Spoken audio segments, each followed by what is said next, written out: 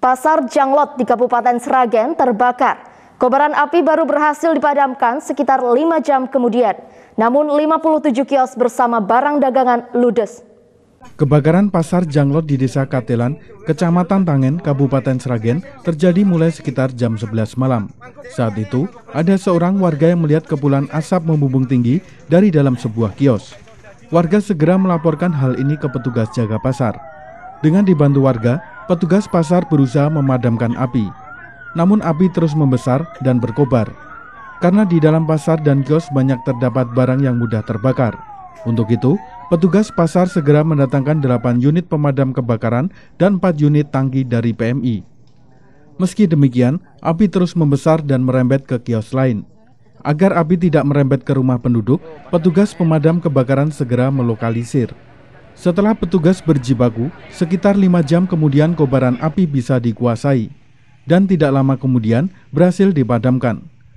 Namun 57 kios beserta barang dagangan milik para pedagang sudah ludes terbakar.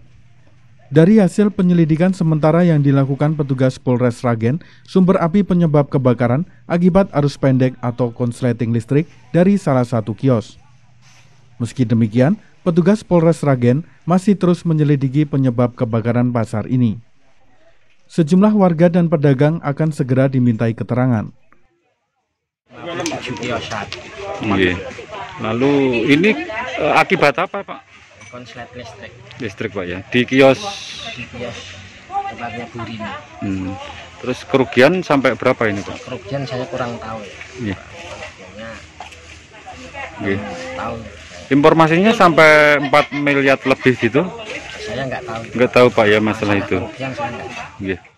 Kerugian akibat kebakaran ini, baik yang dialami pemerintah Kabupaten Sragen maupun pedagang, mencapai sekitar 4,6 miliar rupiah.